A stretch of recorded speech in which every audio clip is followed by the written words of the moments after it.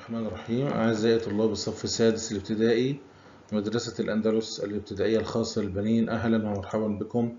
والدرس التاسع في هذه الباقة الدراسية بعنوان التسخين والإحتراق. قبل نبدأ الدرس. من الضروري يا شباب إن إحنا نشترك في قناة المدرسة على اليوتيوب ونفعل زر الاشتراك وجرس التنبيهات حتى إن شاء الله يصلك كل جديد من دروس المواد المختلفة. بداية خلينا نتذكر مع بعض كده أنواع التغيرات الفيزيائية والكيميائية اللي سبق لنا دراستها في الأسابيع الماضية. بالنسبة للتغير الفيزيائي قلنا إن هو تغير بيطرأ على المادة فيغير صفاتها الظاهرية مثل الحالة والشكل دون تغير التركيب. أما التغير الكيميائي فهو مباشرة يغير تركيب المادة. تغير يطرأ على المادة فيغير تركيبها ونوعها. الأمثلة على التغير الفيزيائي عندي انصهار الثلج مثلا ذوبان السكر والملح في الماء.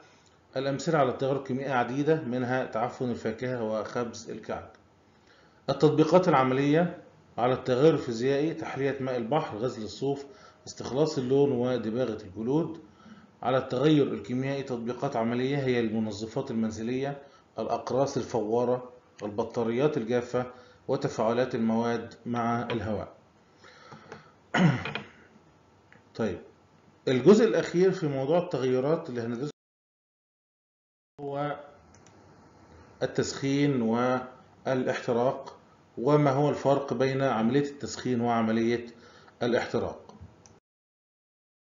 بداية ما المقصود بالتسخين؟ التسخين هو رفع حرارة المادة طبعا بإكسابها طاقة حرارية رفع حرارة المادة مما يؤدي لزيادة سرعة الجزيئات وتباعد المسافات بينها. طبعا إحنا عارفين إن أي مادة مكونة من جزيئات هذه الجزيئات لها سرعة معينة. إذا زادت حرارة المادة بتكون النتيجة الحتمية لزيادة الحرارة هي زيادة سرعة جزيئات المادة وتباعد المسافات بينها. لو انت تأملت في الصورة اللي أمامك هتجد فيه ثلاث مواد وكل مادة لها درجة حرارة مختلفة.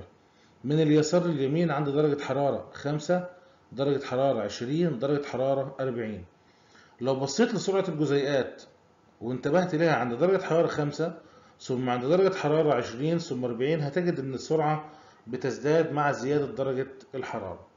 ده اللي إحنا بنتكلم عليه في التعريف إن أنت كل ما زودت حرارة المادة في هذه الحالة الجزيئات بتكتسب طاقة حركية وسرعة أكبر وهذا الذي يسبب تغير حالات المادة من الصلب للسائل للغاز وبالعكس زي بالظبط تغير حالة الماء من ثلج إلى ماء سائل إلى بخار ماء. تمام؟ يبقى التسخين هو رفع حرارة المادة مما يؤدي لزيادة سرعة الجزيئات وتباعد المسافات بينها. طيب عملية التسخين إحنا طبعا درسنا تغير فيزيائي وتغير كيميائي. عملية التسخين عندها القدرة إنها تديك النوعين بينتج عنها تغيرات فيزيائية تمام أو كيميائية. طيب التغيرات الفيزيائية مثل إيه؟ مثل انصهار الثلج يعني تحوله مثلا من الحالة الصلبة إلى الحالة السائلة. كذلك لو زودت الحرارة السائل يتحول إلى بخار ماء تمام؟ طبعا ويمكن عكسها عكسها بالتبريد ولكن إحنا دلوقتي بنتكلم على تسخين. انصهار الثلج زيه زي انصهار الايس كريم انصهار الشوكولاتة انصهار الشمع. كل هذه تغيرات فيزيائيه بتحدث بسبب عملية التسخين. تمام؟ انصهار الشوكولاتة مثال آخر اهو ده طبعا بيحدث بسبب التسخين.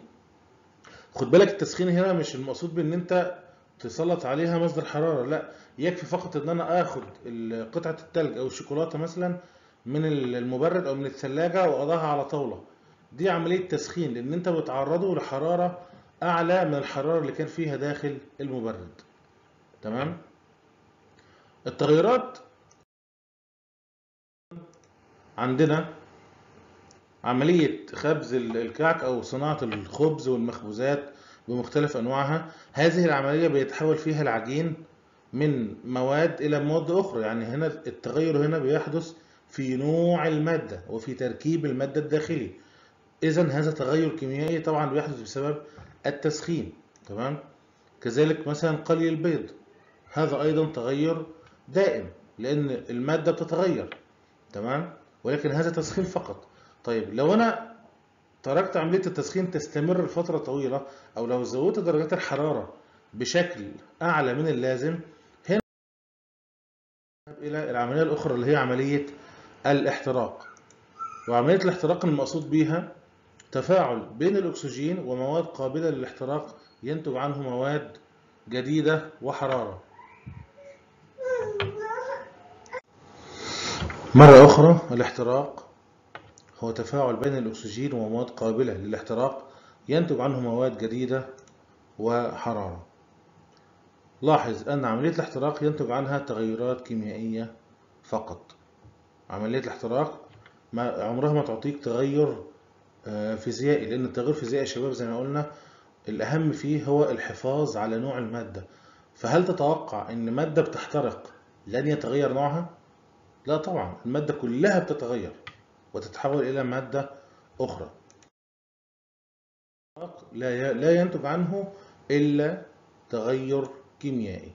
حرق السكر مثلا السكر لو تعرض إلى النار بيتحول إلى مادة سوداء متفحمة بتختلف في صفاتها تماما عن السكر اللي إحنا نعرفه في الشكل في الرائحة في المظهر في حال في التماسك في الصلابة في كل شيء.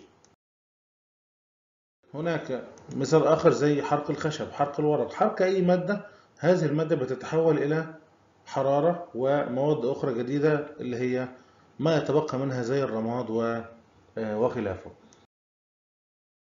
الأكسجين الاحتراق قلنا إن هو تفاعل الأكسجين. طب إيه علاقة الأكسجين بالموضوع؟